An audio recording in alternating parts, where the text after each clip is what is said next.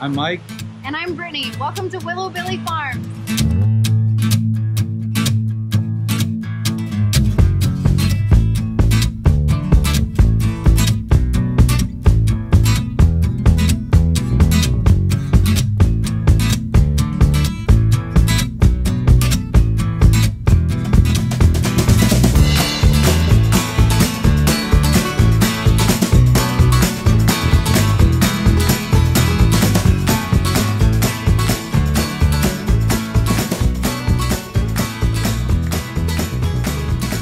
One thing we noticed when we switched to living soil was that we saw a triple in our terpene profiles. And so we, we grow for terpenes, not necessarily for high THC or high CBD. We like good flavor profiles because we believe in the entourage effect that is everything. You know, it's not just THC that's having an effect on you.